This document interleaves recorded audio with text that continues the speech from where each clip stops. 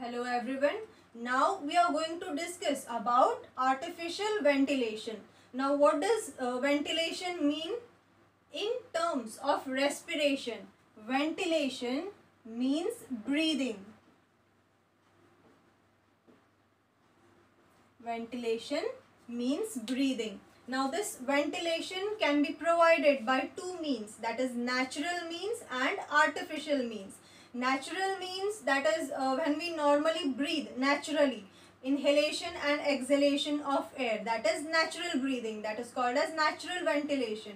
But when this natural ventilation stops or fails for some time due to some reasons at that time artificially air is provided to our lungs. That is called as artificial ventilation this artificial ventilation is also called as artificial respiration it is an method of inducing breathing in a person when natural breathing has been stopped or faltered due to reasons uh, like drowning, choking, suffocation and electric shock. Now as I said that when the natural breathing it stops or uh, it fails for some time or uh, for a while at that time the air is provided artificially to our lungs that is the artificial ventilation.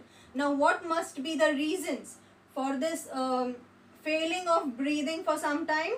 The reasons are drowning when a person drowns uh, drowns into the water. At that time what happens when you take out that person from the water that person couldn't breathe because of the water. It gets filled up in its air tract right? Respiratory tract. Because of that the person cannot breathe naturally.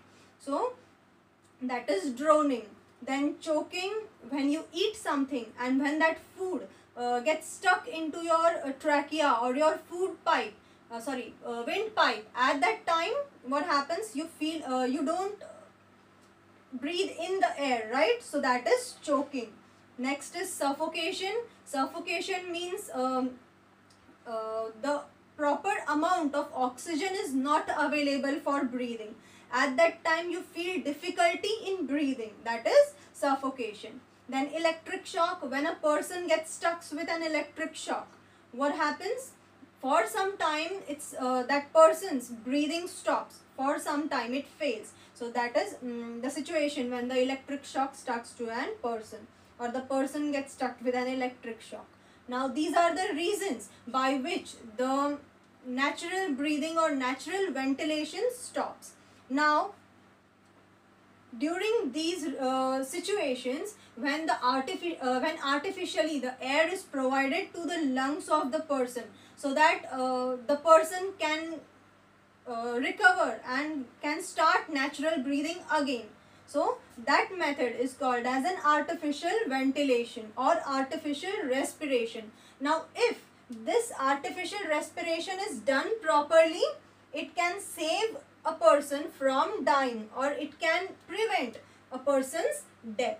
So uh, this is the artificial ventilation. Now this artificial ventilation can be divided into two parts or two main parts. That is first one is mouth to mouth respiration and second is respiration by mechanical means.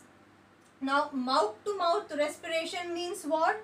It is an act of assisting respiration in which air is blown into person's lung through the mouth. Now, as I said, the situation of drowning at that time when that person is taken out, at that time uh, um, the rescuer, what uh, that rescuer does, that rescuer as we know that uh, after drowning that person's normal breathing stops.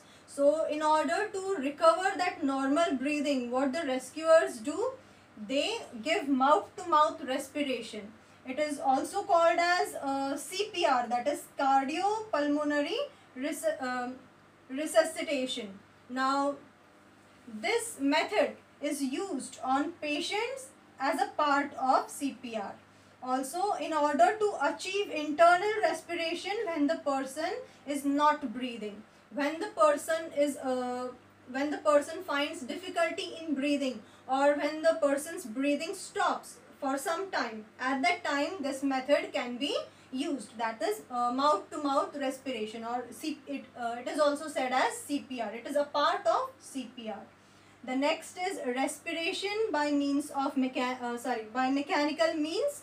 Now here what happens this uh, uh, air is provided or air is given by the means of a machine called as ventilator.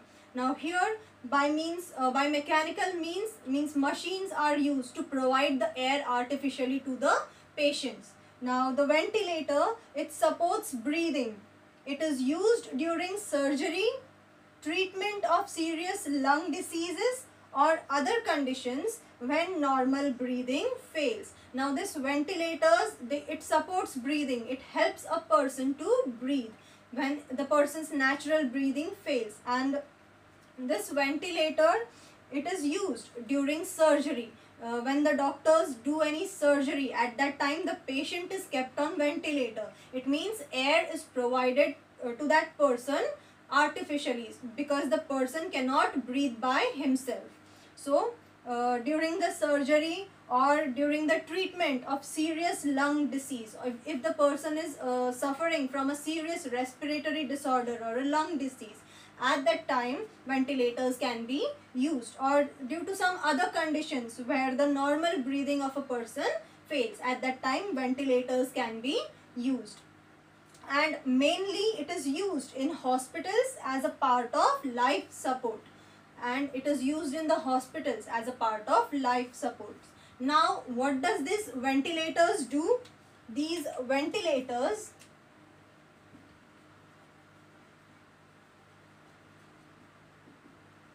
ventilators first thing they do is they give oxygen to the lungs or they get oxygen into the lungs. The first thing ventilators do, they get oxygen into the lungs. Second thing they do, they uh, take oxygen, uh, sorry, they take carbon dioxide from the lungs or they remove carbon dioxide from the lungs. Remove carbon dioxide from the lungs. From lungs. And third thing that is they support breathing or they help the patient to breathe. Help patient to breathe. So, this is the artificial ventilation artificial ventilation in terms of uh, respiration it is called as breathe uh, sorry ventilation in terms of respiration it is called as breathing that is inhalation and exhalation of air. And when this natural breathing it stops for some time or it fails for some time air is provided artificially to the lungs of a person that is called as artificial ventilation Artificial ventilation is also called as artificial respiration. It is the method of inducing or giving breath or giving air in a person when natural breathing has been stopped or it has been faltered. Now, due to the reasons like drowning, choking, suffocation or electric shock. These are the reasons due to the natural breathing or natural ventilation in a person stops. Now, if this artificial ventilation is done properly, it can save a person's life or it can prevent a person's death. Artificial ventilation is done by two types or there are two main uh, parts of artificial ventilation that is mouth to mouth respiration. Mouth to mouth respiration is an act of uh, assisting respiration uh, in which the air is blown into the person's lung through the mouth and it is used as a uh, it is used on a patient as a part of CPR and in order to achieve internal respiration when the natural or uh, when the person is not breathing the next is uh, respiration by means of uh, by mechanical means. Here the air is given by the means of machine called as ventilator. This ventilator supports breathing it is used during the surgery or when treating a serious lung disease. or in other conditions when the natural breathing of a person stops. Ventilators are mainly used in, a, uh, in the hospitals as uh, life support. Now these ventilators what they do they get oxygen into the lungs they get uh, they bring oxygen for the lungs and they remove carbon dioxide from the lungs. As we know inhalation taking oxygen in and exhalation giving out carbon dioxide. That is the process of breathing. So here these ventilators. They support breathing. It means they get oxygen for the lungs and they remove carbon dioxide from the lungs and they help the patient to breathe. So this is the artificial ventilation